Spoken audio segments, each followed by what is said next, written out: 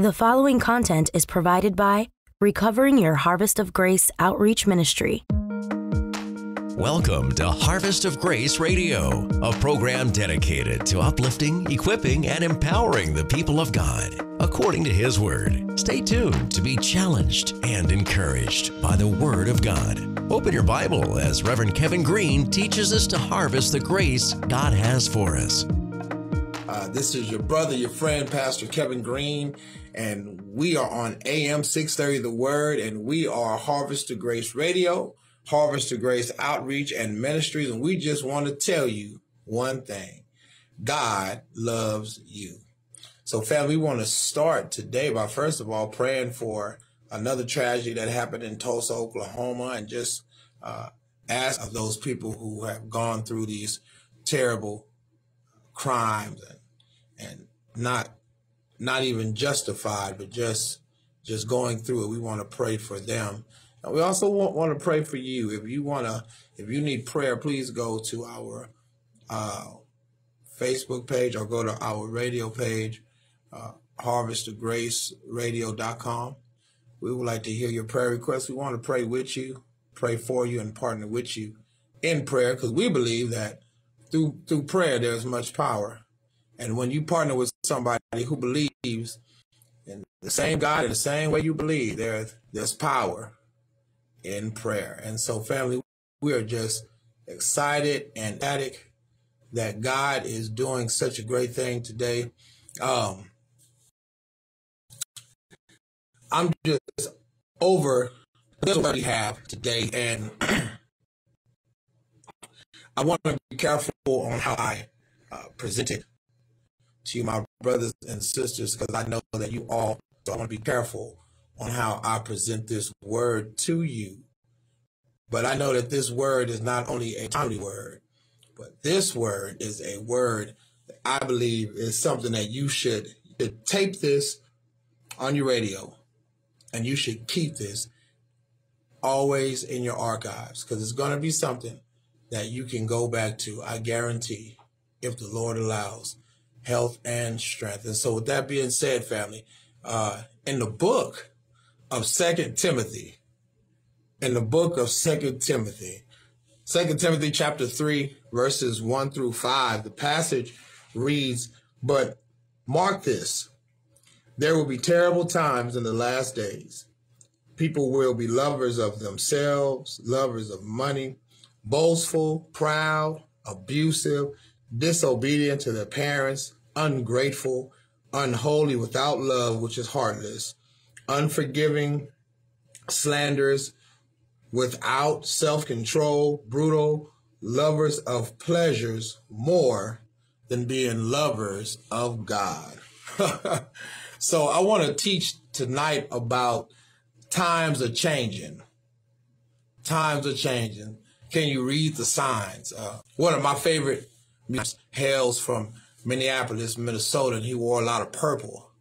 Uh, they called they his name was is formerly known as Prince, and he had a song called "The Times," and and and this song was back in the I think early '90s, and he was talking about the signs of the time, and a lot of us don't really understand or comprehend uh, the signs of the times are right now for the simple fact that we really just, just don't want to deal with it if we just be honest. A lot of us do, don't want to deal with that kind of weight, that kind of gravity on our back. That's that's too heavy. But in the midst of what, what happened in Buffalo, and Uvalde, in Tulsa, Oklahoma, and then a couple days ago in Philadelphia, we need to really look. We really need to see what is the Lord trying to tell us? Because times are changing. I remember before that it was almost guaranteed if you went outside, if your grandmother or your mother let you go outside and play, you were home before uh, dusk dark. When that light came on, you were running back trying to get to that front porch so you wouldn't get in trouble. And you didn't have to worry about people trying to kidnap you, people trying to harm you. You didn't have to worry about that. There were times when actually politicians cared for the community. They cared for the people. They cared for those who who were in their surroundings. And and there was a time when people revered and feared the word of God. Uh, they really feared the word of God. Even though they did not understand it altogether. They didn't have a lot of seminary training and all that other stuff, but they believed what the word said, even if they didn't understand it, they believed it. But what's happening now in 2022 and family, as we take an in-depth look, I want y'all to travel with me. Wow. I, I, I want you to roll your windows up in your car, put your AC on, and I want you to take a ride with me because we're going to di- uh, dissect the second Timothy chapter three. It says, it says, but mark this, mark this. There will be terrible times. So what it's telling us is tragedy is on the way tragedy is on the way.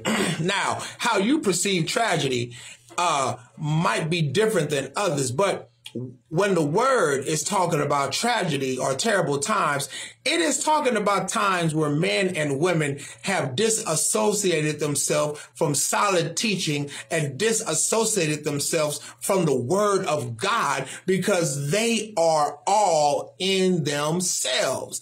It says it's going to be terrible times in the last days. Now, let me clearly say this.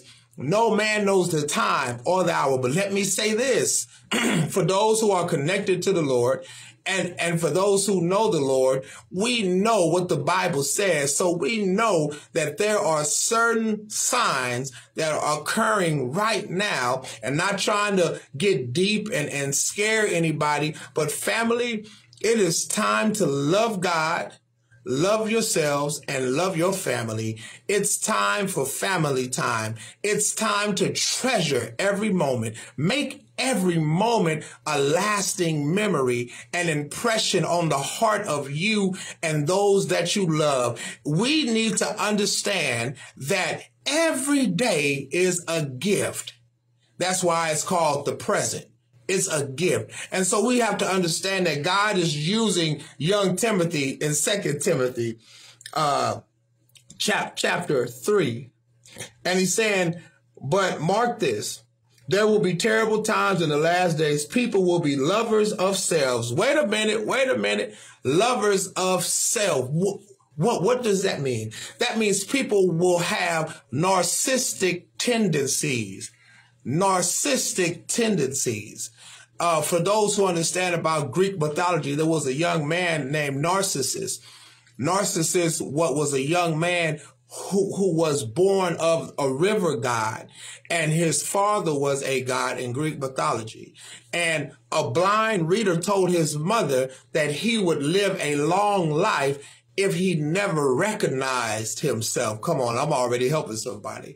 But what happened was he got his heart broke and he glanced in the water, in the river. And the legend has it in Greek mythology that he stared and, and, and, and just gazed at himself until he starved to death. Yeah, if that doesn't get, get your attention, there was a snake that was going up a tree and it looked down and it saw another snake coming up the tree behind it. And so it immediately attacked the snake that was coming up from the bottom of the tree and the snake died.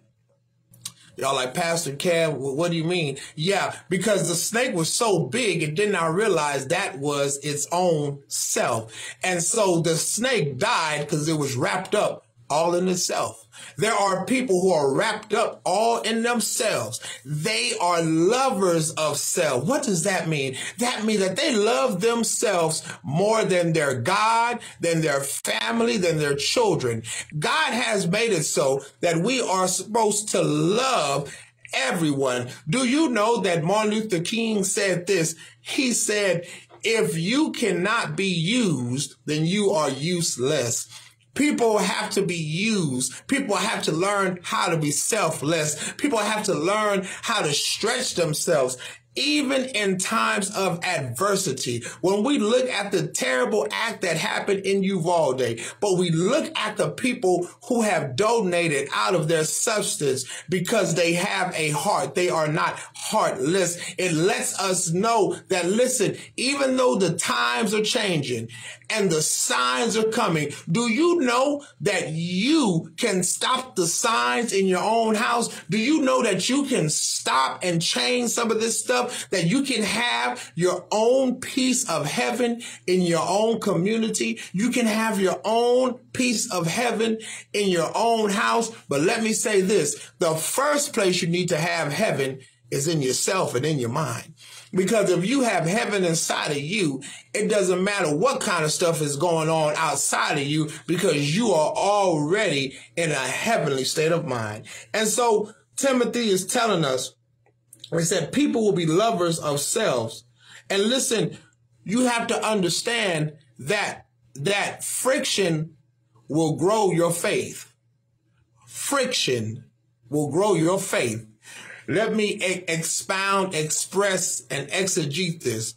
Friction, two objects rubbing together, things that are abrasive or things that, that, that are rubbing up against each other. It's, it's irritable. It's an irritant. These are the things that God uses to grow every individual. Your faith has to be grown through unliked situations. Nobody likes going through a divorce. Nobody likes being laid off from their job. Nobody likes being broke and having no money in their bank account. But God is using this, watch this, this friction, watch.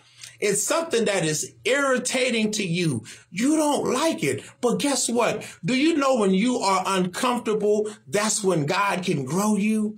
When you are truly uncomfortable where you are, family, that's where God can really grow you. Because when, when you are uncomfortable where you are, what you have just done is you have let God know I'm ready for a change you are always in the same position and you are comfortable in the same position, that is telling God that you're not trying to move forward. For every next step you have to take, there is a battle or a test that comes along with it.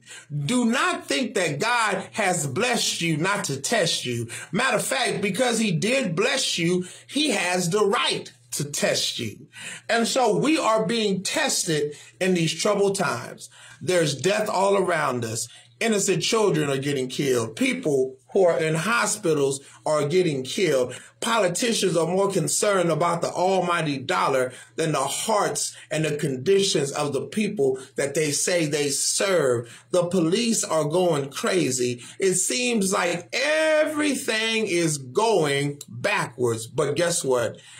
In all your ways, acknowledge him and he shall direct your path. So all we have to do is just stay focused on what God has said. Because he said, family, he said people will become lovers of self. That means they gonna love themselves more than they love God. They're going to love themselves more than they love their wives. They're going to love themselves more than anything. Why? Because they're lovers of selves and they're lovers of money. What does that look like? That looks like when Jesus was talking to a rich man.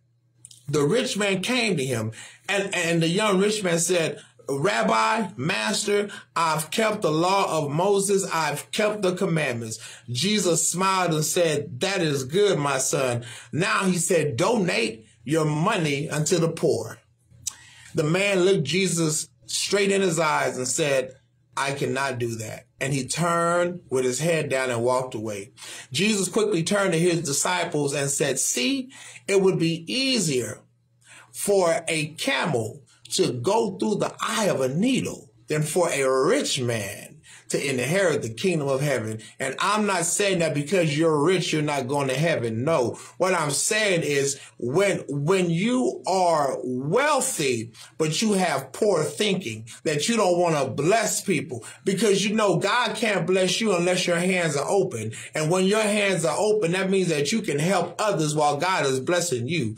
And you have to understand, my brothers and sisters, that because the times are changing, that means our mind frame has to change. Playtime is over. We cannot continue to play church or play with God. You have to really make sure that you have a personal and a powerful relationship with God. You have to make sure first that you are saved saved from the enemy, saved from situations, and saved from places. You have to make sure that you have a prayer life that is intact. If your prayer life is not on point, then you you're not going to have a one-on-one dialogue or, or conversations with God. You got to make sure that. But Timothy is letting us know that these terrible things are coming, but it's really not so terrible because I'm going to tell you why. Because if we who say we love God and follow God, if we would simply be who God has made us to be,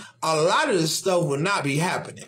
Now, I know I'm not supposed to say that, but if we would act like the way God made us to be, a lot of this stuff would not be going on. You want to know why? Because we are the salt of the earth and if the salt loses its flavor, it is good for nothing. Not only are we the salt, but we are the representatives of God on earth. We have the exousia, the power and authority to do what God has ordained and anointed us to do. We can bring good tidings. We can bring cheer. We can pray for people. We can help people. But instead, some people just want to be with their hands folded and they don't want to give any money. They don't want to give their time nor their talents. They don't even want to give some attention to people. They just want it all for themselves.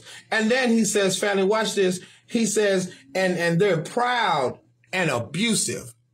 Now, this is where I want to stay a little bit.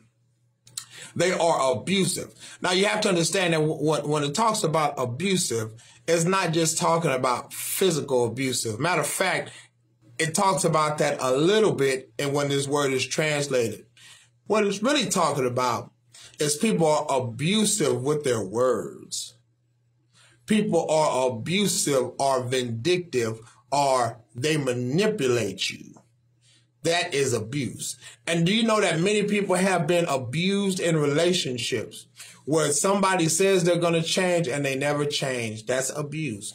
You always say that somebody, you don't look good. You're not going to make it. That is verbal abuse. So you have to understand that over time, what happens your mind starts to digest this stuff because your mind doesn't forget anything.